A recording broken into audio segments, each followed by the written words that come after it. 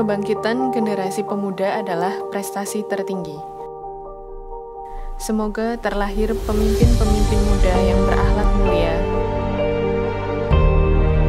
dengan melanjutkan cita-cita kemerdekaan sebenarnya.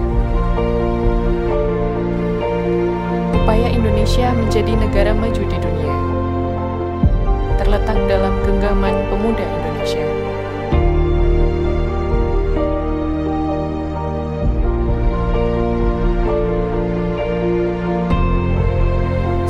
Hari Sumpah Pemuda.